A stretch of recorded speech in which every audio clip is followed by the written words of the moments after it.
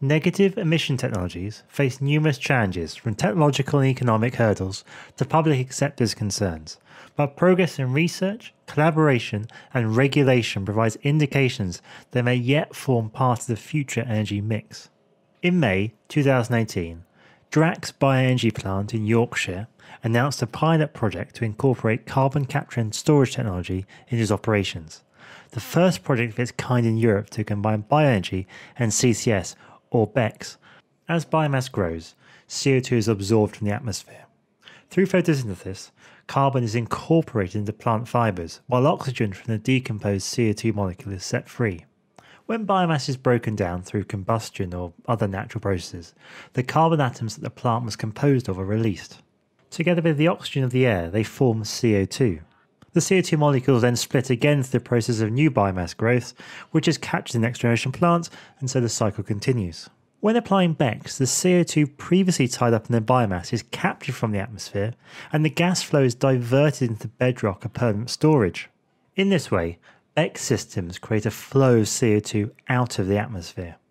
The technology behind BECCS was first mentioned in scientific publications in the 1990s. In June 2018, Nature Energy reported on the work of Radu Custelcean and colleagues demonstrating a lab scale system that employs organic reactants in a two stage capture process and is energy efficient enough to run off solar power. Such lab scale studies still need further work to increase efficiency and minimize the energy demands of the processes, but a handful of companies are actively pursuing commercialization and targeting release in the next few years.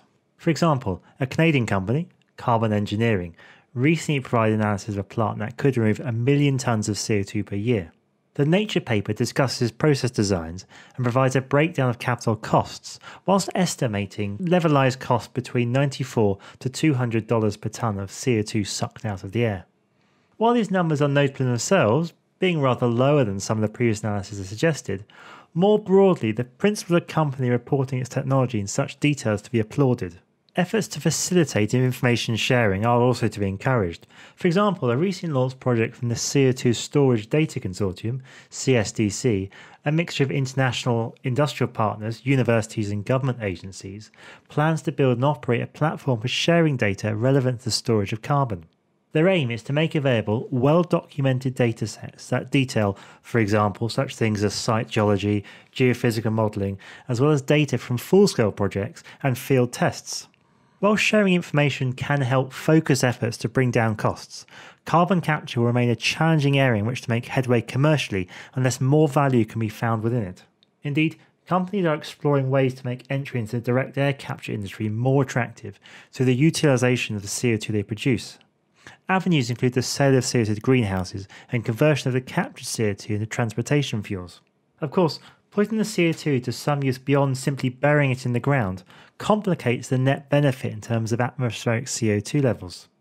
Nevertheless, it does pave the way for further development of large scale technologies, as well as the infrastructure to support them, and that in itself should not be dismissed. Policy also has a role to play in encouraging carbon capture through regulatory frameworks, such as California's Low Carbon Fuel Standard, which provides incentives for fuels to reduce carbon footprints. In the United States, there appears to be a rare bipartisan consensus on supporting CCS, as seen through the passing of additional tax credits for captured carbon, as well as funding for CCS research. It is still generally considered that some level of baseload is required for our power systems, and at present, most readily available option for this is to use fossil fuel plants. CCS could lower the carbon intensity of these operations, but is unattractive if it only increases operational costs. However, this would change if the fact that CCS enabled fossil fuel plants could provide the necessary inertia to the energy system at reduced carbon intensity where appropriate value applied. Viewing CCS enabled fossil plants as providing a necessary service and rewarding this appropriately could encourage development and build out of CCS infrastructure in a way that could benefit its application in the context of NETs. However, the importance of public acceptance and potential public subsidy of a large scale energy project such as BECCS must not be forgotten when in designing such incentives.